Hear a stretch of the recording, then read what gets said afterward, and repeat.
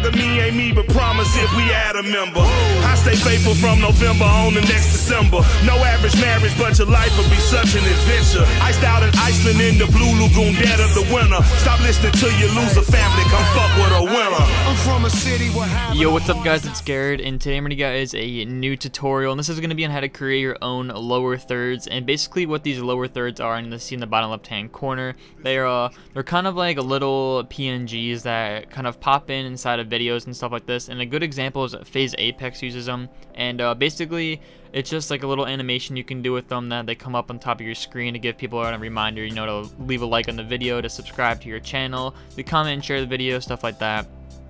And uh, basically what we're going to be doing is creating one generic one that you can use for all three of these types in the bottom left hand corner. And uh, before I go into this video, if you guys missed it, I did do an overlay tutorial, the one on the top right here you see in the middle.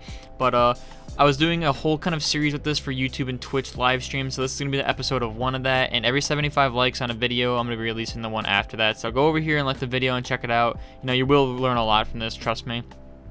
So, uh, more that I can say about this is if you guys want to purchase this, it's gonna this lower thirds right here is gonna be a dollar on my Sellfy. The overlay is two dollars, and uh, basically all this money that I raise off of these kind of things is gonna be going towards my website to help create you know better content for you guys, release better packs, and uh, it's pretty much bring you guys better graphics overall. So uh, enough of me talking, let's just get right into it. If you guys are starting off to do this and you guys haven't watched my other overlay tutorial, we're going to be using the Obey pack, which is made by Obey Max well, former Obey Max, and we're gonna be using a uh, just a regular logo, and basically we're gonna have to be using the internet to get an icon of the thumbs up. So uh, other than that, you're pretty much not going to need anything. You just necessarily do not need the pack itself, but uh, it's really helpful when you're doing this kind of stuff. So what I'm going to do is just actually I'm just going to take these and bring them up to the top and this is basically just going to be like a reminder on how to do them and uh, just give me like a little reference to look back and forth from so I can create the best content for you guys. So uh, the first thing I want to do is just start off with the whole kind of background. I'm using a 1920 by 1080 space. You know, it is the best when you guys are doing this because you can downscale to 1280 by 720 and uh, I'm just using a kind of black and white blurred out Halo 5 wallpaper. So what you want to do is basically just start off on a document and then click these uh, little black and white squares in the bottom left hand corner and grab an ellipse, which you just of hold on here and grab the ellipse tool. Create a circle and then you want to make a new layer and you want to click over here and make it a rectangle and you can zoom in, you cannot. I'm just going to make it like this and we're going to end up sizing it over again. And basically just bring it like this and then kind of size it the best you can.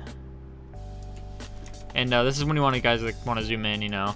And uh, basically what you're doing is you're just completely sizing the square to uh, basically be the same same height as the as a circle. And uh, you'll know you get it when you have to keep moving it back and forth, and it has like a smooth transition like that. So uh, once you have this done, basically all you want to do is just zoom out and uh, make sure it looks pretty much good to you and then just hit this and hit control E which is gonna merge them both together so uh, now that you have this you guys can either do one of two things you can keep it this long if you want to have a really long text that pops up on the left hand side of your screen what I like doing is I like just shrinking it just a little bit and uh, just make the size a little bit smaller so uh, now we can either work with two ways. We can just leave it in the middle of the screen or we can work it from the left hand side. I'm just to leave it in the middle of the screen for this tutorial, but I did do these looking at the left side of my screen. It was a lot easier for me to understand what I'm doing. So uh, now that you guys have this, just a black rectangle, you can label, label this like uh, just background, just, you know, make sure you guys know what you're working on.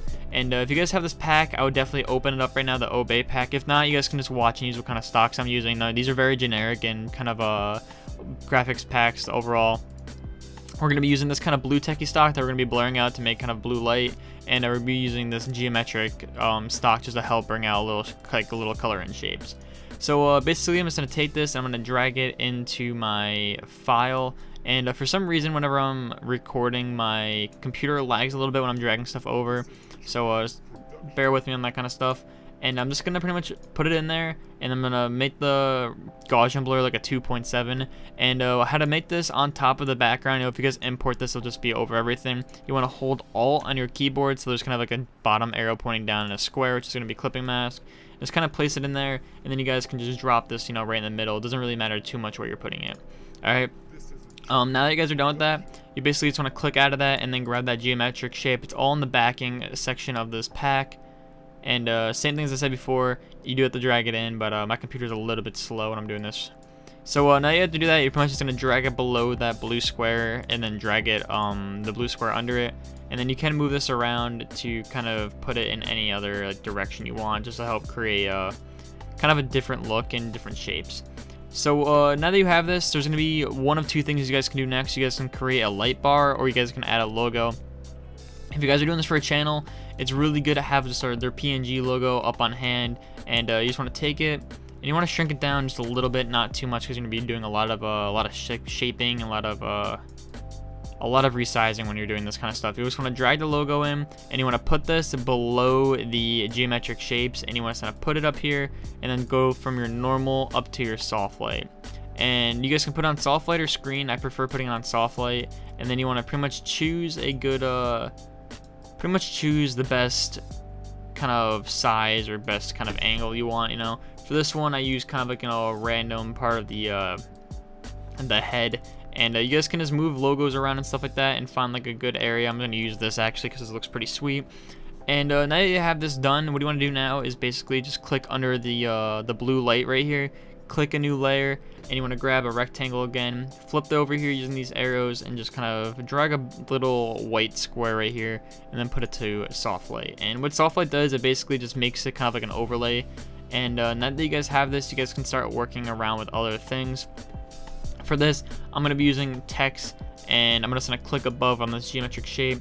And for font choice, I'm using Evo Evogria, which is E-V-O-G-R-I-A. You guys can find it on dafont.com. It's a really good font for this kind of stuff. And uh, for the text, the top text, you guys can put anything you want. Like, don't forget to. Alright. And then after this, you just want to size it as a little bit maybe make it a little bit smaller and then make the width a little bit more like kind of change that and uh, you can leave this to leave a like. Alright and now you have to do that. You want to put the size back down to like zero. And if you guys don't know how to work this kind of thing right here um, I have a tutorial on it on my channel. It's a text tool tutorial. Basically you want to click this little document right here and I'll bring this up and this is just like helping resizing stuff and kind of bring it in closer and stuff. So I'm gonna size this up pretty big um, compared to the text and I'm gonna put the L ending to the D like that. And then I'm gonna take the right hand side and drag it in hitting control T. So you guys have this part. And you guys can bring this down a little bit and a little bit up or if you guys want. And then you want to highlight both hit control T and then just kind of shrink it and put it inside the middle. And like I said before you just want to put it the best you can in the middle. Um if you want to zoom in and change it that's probably the most ideal but I'm just gonna leave it the best I can, the best place that looks good. Maybe I'll zoom in a little bit. If you guys zoom in, it's easier to uh, put it in places. It's easier to transform. So uh, now that you guys have this, what you can do now is go over to like more websites and stuff like this. Um, I'm using a flaticon.com and basically I did a, a, whole video on this um, non-sponsored and stuff you know this is a really good website to get your own kind of vectors and PNGs and then you can type in like thumbs up Alright, and you guys can choose any like, any single one of these really, like really doesn't really matter, but uh, any one of these would really work. Um, I already have one in use, just a regular old thumbs up. It's kind of like a cartoony effect, which kind of matches the whole entire overlay style that we'll be doing. And uh, all you want to do, just drag it in, hit Control I if it's black, and then just kind of shrink it a little bit. And you want to put it on the whole side right here, and just kind of angle it, so it's kind of a kind of just a little bit different, you know, it's not just straight up or anything like that. And uh, now you guys do that, now you want to start adding kind of colors and um, other stuff to help draw it out. So you want to click above the logo that you have right here and grab the brush tool and put it on a lower size around like 80 or 70 or 60 and just kind of make one big streak behind the text and put it to overlay. Alright, now that you have that, you want to make a new layer and then you want to grab the little black right here and you want to make it a pretty decently bright color. Always put it at the top top left hand corner and uh, make it any color that you're making the overlay. In this case we're making everything blue because I think blue is a really good color. And uh, we're just gonna click right here and kind of lighten up everything maybe twice as good. And uh, basically it creates a nice little effect right here. So uh, now that you have this basically what you can do is just grab everything and grab the text grab the thumb and you can just drag it over to the side like I did for all these and you can just put it right here and uh, now that you guys have this you can pretty much do whatever you want with it Um, mine's a little bit bigger than these ones, and a lot of uh, the width is a lot more. But it's basically the same concept that I did. I made the uh, the drop shadows a little bit lighter as well. And uh, I did bring out a lot more blue, but you know, you can do whatever you want with this. And if you guys want to change the text, it's really easy to really accessible. All you have to do is pretty much highlight it. So you can like, don't forget to subscribe and you know, you all have to do is click right here and center it again. And uh, you should be fine. So basically, this is the whole tutorial on how to create lower thirds. If you guys want to save these and import them to, let's say, After Effects, Premiere, Sony Vegas, you know, iMovie, um, you know, the list could go on Movie Maker. What you want to do is basically group the whole entire lower third that you made together. And uh, let's label this like um, final or something. And after this, what you want to do is hide everything else inside that document. So it's just this whole entire thing by itself. And after you do this, you're going to go to File and then Save As and then you're going to go to PNG and basically what this PNG is going to do is it's going to create a whole entire document just based off of this and it's going to make the whole background transparent. And uh, now that you have that done you know you can import it let's just say you're to import it to a Halo 5 gameplay like this. And uh, in your softwares like After Effects you can just bring it down and uh, you can pretty much keyframe it here and then bring it up. Oops you can bring it up right here keyframe it again for five seconds and then bring it back down.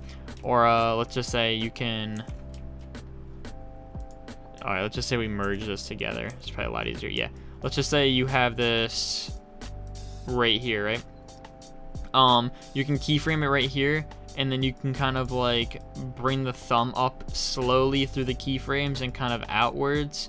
So it kind of looks like the uh, logo is kind of like, I don't know, saying like, yup, like subscribe. And it can like bounce back and forth, and then, you know, it evens out. So uh, that's another thing you guys can do. It's another option and uh, it's really endless what you guys can do. You can make the thumb on both sides, and you can have just like a pop up like this, and then pop back down, make a little dinging effect, and basically, it's honestly endless on what you can do with this kind of stuff. So that's basically it for the tutorial. If you guys want to leave a thumbs up, every 75 likes, as I said before on these kind of videos, it's going to release the next tutorial after that. I'm going to be trying to do everyday uploads, which you guys are definitely um, enjoying a lot more than I did. Like I upload like once like a week, once like two weeks. So uh, basically that's it. As i said before in the beginning of the video if you guys want to support me in making my website there's going to be a uh, Sellfy link in the description. You can buy my lower thirds right here on the left hand side for a dollar. You can buy the overlay for two dollars and all the money is going straight to the website.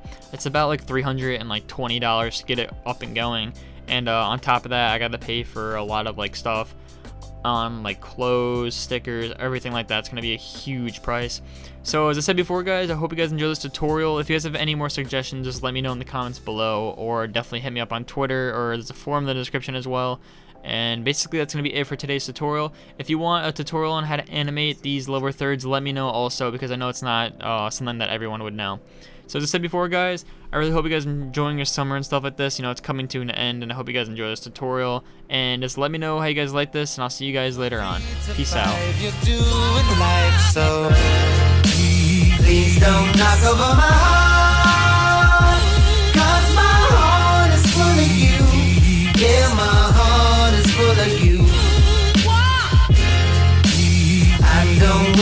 tomorrow